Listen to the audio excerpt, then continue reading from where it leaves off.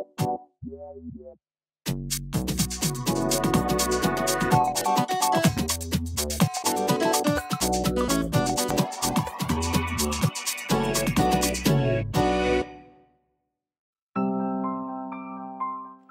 apa kabar pemirsa? Bertemu lagi dengan saya Novita Tanri di acara Happy Parenting. Hari ini narasumber saya Jaya Suprana, pembelajar kehidupan. Tapi sebelum kita mulai, mari kita simak profil beliau berikut ini. Jaya Suprana, pria kelahiran Denpasar, Bali, 27 Januari 1949. Merupakan anak adopsi pasangan Lambang Suprana dan Lili Suprana. Ia dibesarkan di keluarga Jawa dan tinggal di Semarang, Jawa Tengah. Memasuki usia remaja, Jaya Suprana pindah ke Jerman untuk mengenyam pendidikan menengah dan perguruan tinggi dengan fokus studi musik. Menjadi seorang anak adopsi tidak membuatnya kehilangan masa kebahagiaan. Ia pun merasakan bahagia dan hutang budi kepada orang tua angkatnya. Hal ini dikarenakan mereka memberikan kasih sayang tulus kepada seorang Jaya Suprana. Ia pun dikenal sebagai seorang berkepribadian unik, jenius, kreatif, dan memiliki berbagai bakat. Dikenal sebagai pianis, komponis, presenter TV, kartunis, klirumolog, humorolog, filantropis, pemerhati masalah sosial, budayawan, dan pengusaha. Langsung kita sapa Jaya Suprana, pembelajar kehidupan di Happy Parenting. Pak Jaya Suprana, apa kabar? Terima kasih. Sehat. Masih hidup. Selalu jawaban kalau seorang Jaya Suprana itu unik dan tiba-tiba tidak pernah ada ekspektasi saya kalau jawaban Jaya Suprana. Anda juga dikenal sebagai orang yang begitu memperhatikan anak-anak. Dan maunya dipanggil sebagai pembelajar kehidupan. Kenapa Pak? Saya sedang mempelajari apa sebenarnya yang disebut sebagai kehidupan ini. Mhm. Dan terus terang sampai sekarang saya masih belum Masih terus, memahami. masih ya, terus masih mencari. terus saya harus belajar. Mhm. Saya kira tidak ada hentinya. Karena menurut saya bahkan peradaban umat manusia itu sebetulnya proses pembelajaran menuju ke suatu kesempurnaan yang tidak pernah tercapai. Ya. Tetapi selalu kita berusaha mendekati kesempurnaan. Sekarang kalau ditanya perjalanan menuju ke 69 tahun ya Pak? Menuju 70. Menuju 70 nih Iya, berarti ya, iya. menuju 70 tahun. Perjalanan 70 tahun seorang Jaya Suprana bisa katakan masih mencari, masih dalam perjalanan. Sebenarnya yang dicari apa Pak destinasinya? Ya, makna kehidupan ini. Ya, dari awal setelah saya mulai bisa berpikir, saya selalu mau tahu apa sih sebetulnya tujuan hidup ini. Ya, dan kenapa kok saya dihadirkan di planet bumi ini? Mhm. Padahal saya nggak minta, Ya. ya, tapi tahu-tahu saya dihadirkan.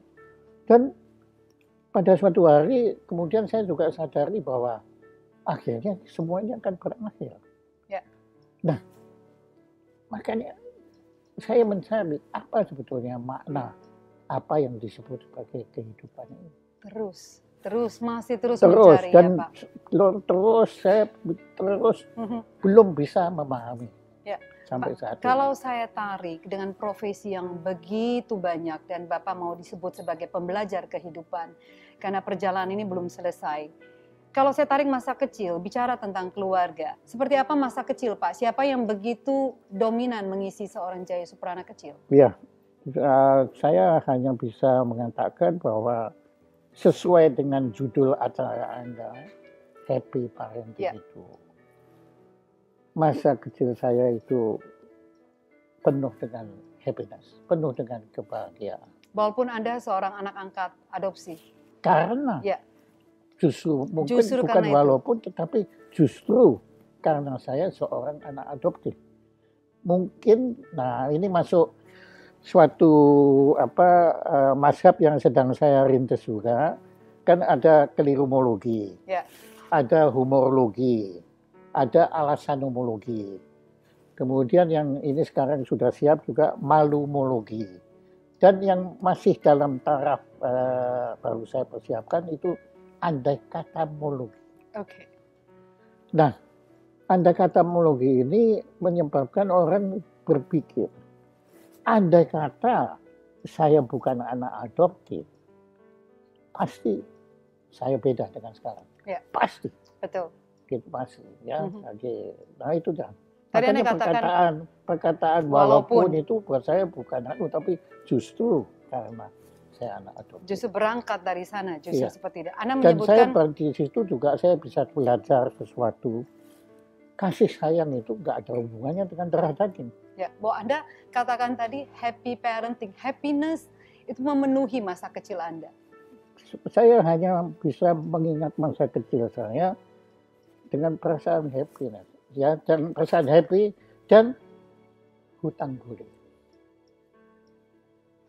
Ya, Ya. saya bisa duduk di sini dapat kehormatan di wawancara Anda. Kalau tanpa kedua orang tua saya, jadi parents itu tadi, Ya. mustahil. Maka eh, saya luar biasa sangat berhutang budi pada eh, kedua orang tua saya dan justru di sini bukan walaupun Baik. karena Siapa? mereka bukan darah daging saya makin saya berhutang budi lagi Mhm. ya kalau kalau beliau-beliau itu darah daging saya adalah kewajiban beliau Betul. tapi ini kan bukan kewajiban Mhm. bukan kedua beliau tetapi dari kedua beliau saya belajar bahwa makna kasih sayang yang sejati itu apa bukan memiliki Maknanya dalam sekali nih Pak. Iya, karena kedua orang tua saya tidak merasa memiliki saya. Tapi mereka justru mengabdikan kasih sayang mereka pada saya. Luar biasa. Pak, nanti di segmen kedua saya kepengen tanya kelirumologi. Yang sebenarnya pernyataan ini, ilmu ini juga sudah keliru ya. Karena ada kata mo di tengah. Iya. Harusnya keliru logi mestinya kalau Iya, kita bicara betul. tentang logos, Iya. kita bicara tentang ilmu. Sesaat lagi nanti di Happy Parenting kita akan masih sambung dengan Jaya Suprana.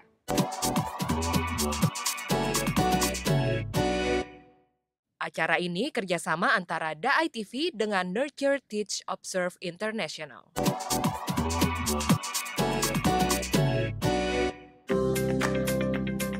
Jaya Suprana juga peduli akan perkembangan dan prestasi Indonesia. Pada 27 Januari 1990, ia mendirikan Museum Rekor Indonesia yang sekarang dikenal dengan nama Museum Rekor Dunia Indonesia atau MURI di Semarang. Ia berharap dengan MURI anak bangsa mau menghargai hasil karya dalam negeri sendiri. Selain Muri, pada tahun 2009, Jaya Suprana juga mendirikan sebuah lembaga pendidikan seni pertunjukan Jaya Suprana School of Performing Art yang banyak memberikan kontribusi dan beasiswa untuk mengembangkan seni musik, seni tari, seni teater, dan kesenian tradisional, serta mendirikan paguyuban wayang orang Indonesia Pusaka. Jaya Suprana fokus untuk membina anak-anak Indonesia berbakat seni luar biasa, agar dapat berkiprah di panggung dunia mengharumkan nama bangsa. Masih di Happy Parenting dengan tamu istimewa saya, narasumber istimewa, Pak Jaya Suprana. Pak Jaya, tadi kita sudah bicara kerilumologi. Iya. Kelirumologi. Susah ya. Kata monya di tengah itu aja sudah keliru itu Pak, Iya. ditambah-tambah. Sengaja ya Pak? Sengaja. Karena apa yang disebut keliru itu juga nggak jelas kadang-kadang. Ya, yang Mhm. keliru itu apa sebetulnya? Karena kemudian setelah saya uh, pelajari, Iya. bukannya saya berarti memahami, setelah saya pelajari, ternyata di balik setiap kekeliruan itu sebenarnya ada kebenaran. Namun sebaliknya di balik setiap kebenaran ada kekeliruan. Ternyata memang itulah tujuan kehidupan. Yaitu selalu berusaha mendekati kesempurnaan. Itu Tuhan itu sendiri. Iya, iya. Untuk supaya manusia ini mendekati eh, kesempurnaan, apa tujuannya? Itu tadi, peradaban. Mhm. Yaitu selalu mempelajari, pertama bukan mempelajari itu, menemukan dahulu Ya. kekeliruan-kekeliruan. Semua ilmu pengetahuan itu trial and error. Nah, apalagi parenting. Ya. Ya, semua Betul. anda, anda tahu pendidikan itu apa? Trial and error. Ya. Lah error itu kan keliru. Jadi artinya kekeliruan itu bagian yang paling penting dalam proses pembelajaran kehidupan ini. Kecerdasan majemuk ini yang ingin dipunyai orang tua untuk anak-anaknya di zaman now. Dibagi dong Pak, bagaimana caranya tuh? Kecerdasan, Iya. caranya, kesannya mungkin seperti mobil gitu ya, ada caranya. Tapi mungkin bisa dibagi tipsnya apa yang dilakukan Iya. orang tua Iya. dulu pada masa kecil. Tadi saya agak bingung mau menjawab pertanyaan Anda, tapi setelah Anda gunakan contoh mobil, nah itu dia. Ya. Manusia bukan mobil. Betul. Ya, jadi kepada orang tua yang mengharapkan anaknya itu menjadi apa, menjadi apa, itu kekeliruan. Seharusnya orang tua itu mengharapkan dirinya Ya. apa yang bisa dipersembahkan oleh orang tua untuk anaknya. Bukan anak ini mau jadi apa, tapi apa yang harus dia perbuat agar anak ini bisa menjadi sesuatu. Dan yang menjadi sesuatu tentu bukan menjadi sesuatu yang buruk, kan Ya. menjadi yang baik. Saya yakin Anda punya keluarga yang anu, bahagia, bahagia sekali, anak-anak Anda juga pandai sekali, cerdas sekali, Anda sukses semua. anu. Tapi cara Anda mendidik nggak bisa diterapkan pada keluarga B, Ya. pada keluarga C. Setuju Pak. Dan sebaliknya keluarga itu juga nggak bisa. Ya. Tapi kalau saya ngomong begini, nah susah. Nggak ada sekolah lagi. Ya. Akhirnya kita terpaksa ya ikut ikutilah anunya aturan-aturan main itu. Tapi kita harus selalu siap untuk selalu sadar bahwa akhirnya manusia itu adalah subjek, bukan objek. bahwa manusia adalah subjek, bukan objek. Kita sambung lagi di segmen ketiga dengan Jaya Suprana sesaat lagi di Happy Parenting.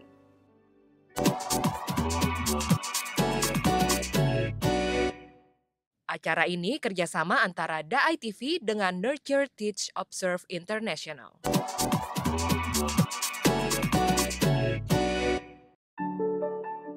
Bagi Jaya Suprana, ibu merupakan seorang pendidik yang baik bagi anak-anaknya. Mendidik anak pun termasuk ke dalam seni yang diberikan dari lubuk hati. Dengan kasih sayang yang tulus pun akan tercipta sebuah komunikasi yang baik, disertai dengan pola asuh dalam mendidik anak yang diberikan oleh orang tua kepada anak-anak mereka dengan memberikan yang terbaik. Kembali di Happy Parenting, masih dengan tamu istimewa saya, Pak Jaya Suprana. Pembelajar kehidupan. Pak, Anda tidak mau dipanggil sebagai pengusaha. Dan jarang sekali, tidak pernah saya baca seorang Jaya Suprana dipanggil pengusaha gitu profesinya. Pembelajar kehidupan, Pak. Terus saya tarik lagi nih, tadi kita bicara satu dan dua. Seni, kenapa Pak konsentrasi di seni? Yang bilang saya konsentrasi di seni siapa? Salah satu deh. kalau Nah begitu. makanya salah satu sudah sudah keliru. Dari Salah tadi satu. saya keliru Iya, ngomong coba. terus ya. Ya coba, kok salah satu? Loh, apa yang salah kok satu? Padahal yang Anda mau bilang yang benar kan sesungguhnya. Menurut saya, kehidupan ini seni, bukan ilmu. Dan saya tidak pernah percaya kepada ilmu psikologi.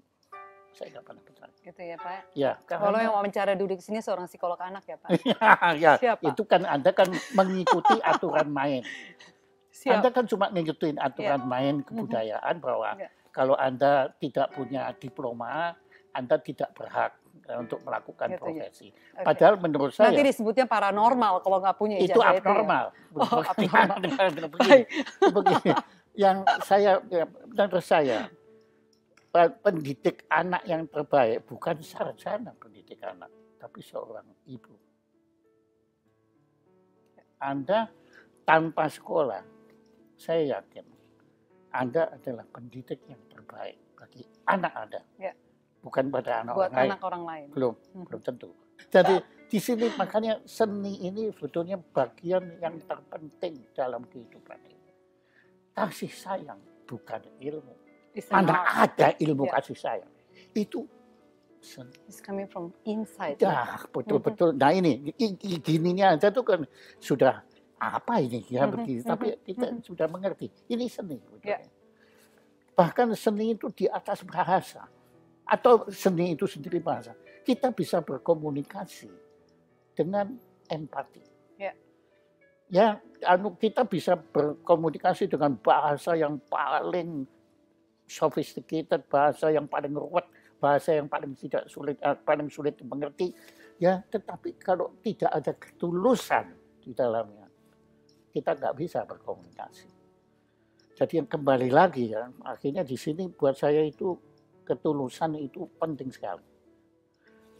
Nah, kita kembali sekarang pada saya kan biar bagaimana juga ngikuti aturan main yang keliru itu tadi.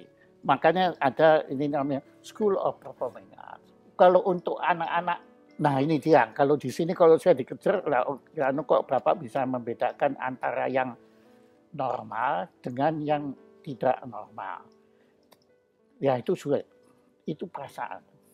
Saya bisa membedakan seorang anak yang punya bakat musik biasa dengan luar biasa. Mhm. Bisa bedakan. Walaupun bakat itu bisa bisa nggak terasa kalau tidak ada minatnya Iya. ya Pak. Tapi saya bisa men- merasakan. Ya, memang saya punya perasaan. Dan yang kalau saya ditanya, "Kena- kok saya bisa membedakan murid-murid saya yang luar biasa dengan yang biasa? Pernah Saya salah nggak Pak? Nggak. Nggak pernah salah Nggak pernah. dalam menilai. Dalam Karena menilai itu- saya nggak pernah salah mengenai nanti dia jadinya apa itu sudah bukan urusan saya Mhm, kan. mhm. Tetapi saya tahu bahwa ini memang luar biasa. Kalau ini punya oleh setiap orang tua yang membutuhkan sensitivitas seperti Bapak seperti ini untuk melihat anak punya minat dan bakat di mana dan sejak awal sudah bisa dideteksi tanpa harus dengan segala macam metode manusia. Tentunya setiap anak akan punya passion masing-masing yang nantinya menjadi pekerjaan, bukan pekerjaan tapi menjadi passion yang nantinya kalau dipakai untuk menghasilkan uang misalnya. belum tentu. Tidak bisa. tentu. Ini Jawabannya di- itu. di- ini bukan dua tambah dua sama dengan empat. Mhm. Tapi bisa lima, bisa tiga, Ya. bisa infinity, Mhm. bisa nol, bisa Ya. minus bahkan. Ya. Ya, mak- kalau kita bicara di sini ya, Manu sebetulnya nggak perlu. Saya nggak ada yang mendeteksi saya, orang tua saya nggak ada yang bilang kamu bakatnya ini nggak pernah. Mhm. dia bilang. Mhm. Mhm. Saya umur 4 tahun sudah bikin komik. 4 tahun. Saya umur begitu saya bisa baca umur lima tahun bacaan saya ensiklopedia. Nggak ada yang bilang saya bakat. Pada waktu itu malah dipikir apa anak baca ensiklopedia ini apa. Mhm. Tapi karena nggak tahu bagaimana waktu saya membaca ensiklopedia, saya merasa dunia ini terbuka. Tapi ada yang arahkan pada saat itu. Tidak Orang tua tidak mengarahkan. Tidak ada. Yang menyiapkan ensiklopedia dan Tidak ada. Ensiklopedia itu dibeli oleh ibu saya karena kebetulan eh, anu temannya jual ensiklopedia. Dulu kan gitu kan. yang door to door Nah gitu itu juga ya Pak. dia. Kemudian kok bukunya tebel ya saya, saya tanya ibu saya ini apa? Ibu saya juga nggak ngerti ensiklopedia. Ya pokoknya dibeli karena dia mau nolong mau nolong anu apa Dan, temannya itu. dan itu supaya- menjadi dongeng sebelum tidurnya Pak Iya. Jaya Suprana. jadinya. bukan dongeng, itu saya baca sendiri. Ibu saya nggak pernah dongengin saya. Ya itu nggak pernah, nggak nggak ada. Main piano saya, ayah saya nggak punya piano, yang punya ya, paman saya.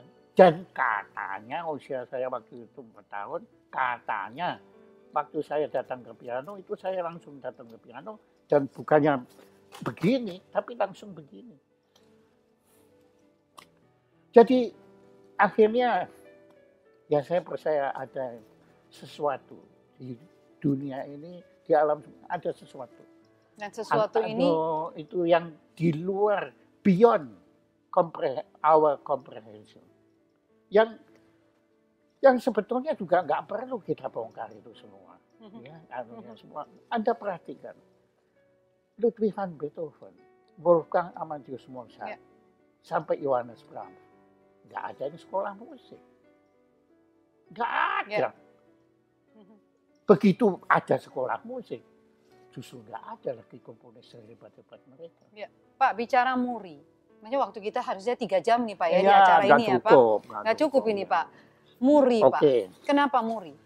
Muri itu saya dirikan karena saya merasa bangsa saya ini bangsa yang sangat kurang menghargai, menghormati, dan bangga terhadap mahakarya kebudayaan bangsa sendiri. Bapak melihat sebelum dan sesudah Muri diciptakan? Sebelum.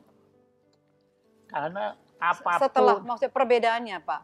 Bapak melihat bahwa penghargaan itu akhirnya uh, ada, besar, setelah Muri ada? Kita bicara seni. Saya nggak berani ngomong begitu ya. Begini. Tapi yang saya mendirikan Muri ini tujuannya apa?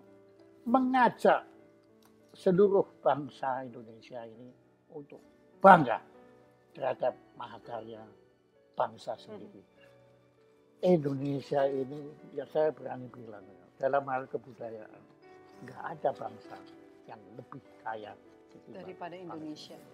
Pak, kita sudah sampai di akhir acara penutup, tips parenting, pesan untuk keluarga Indonesia, khususnya orang tua, calon orang tua, pendidik, guru, yang berkaitan dengan dunia anak. Walaupun semua orang sih berkaitan dengan dunia anak, Pak. Pak Jaya Suprana, apa yang ingin diberikan pesan sebagai penutup dari acara Happy Parenting kita hari ini? Boleh berkaitan dengan tema kita, kecerdasan majemuk, apa saja Pak? Silakan. Menurut saya tolong terjemahkan dari judul acara yang bagus ini, happy parenting. Jangan untuk membuat para parent happy. Happy. Tapi membuat anak-anak happy. Tapi kalau saya lihat itu kasih sayang yang termurni dan tertulus bahkan saya berani menggunakan terluhur di alam semesta ini adalah kasih sayang ibu. Itu sudahlah. Kalau sudah kasih sayang ibu, sudahlah. Sigmund Freud, Bruno Bettelheim, ya Skinner, jangan ngomong. Yang tahu mempersembahkan kasih sayang, yang paling tahu itu adalah seorang ibu kepada anak. Ibu. Tapi jangan lupa juga peran ayah ya Pak ya. Kadang-kadang, kadang malah ngaco. Tapi saya beruntung. Kalau saya pribadi, dua orang tua saya, ya wonderful. Dan saya melihat di situ adalah happy parenting sejati. Dan kebetulan ayah saya berperan. Terima kasih banyak Pak Jaya Supran untuk waktunya. Dan saya harapkan pembicaraan kita hari ini akan menjadi satu sentilan kalau bisa menjadi wake up call buat orang tua bahwa orang tua sebagai pendidik pertama dan terutama. Oh iya. Terima kasih sekali lagi Pak Jaya Suprana. Kita sudah tiba di akhir acara dan saya yakin hari ini pembicaraan kita dengan Pak Jaya Suprana, pembelajar kehidupan akan mengingatkan kita kembali sebagai orang tua. Orang tua yang berperan begitu pentingnya. Bukan saja hanya ibu, tapi juga ayah.